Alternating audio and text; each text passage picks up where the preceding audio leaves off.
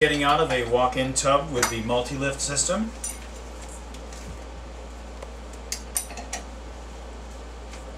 Very practical application.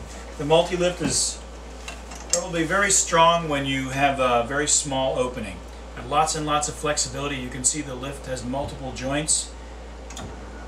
Standard unit can lift up to 275 pounds. Here you'll notice that the opening is actually smaller than my body. So I'm going to rise up right over the top of the opening, come out, and to the wheelchair.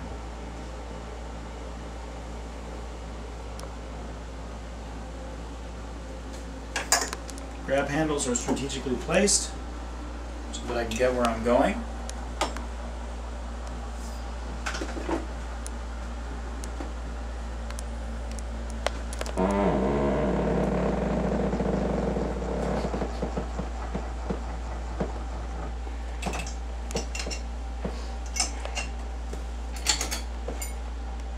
When not in use, the lift can fold against the wall.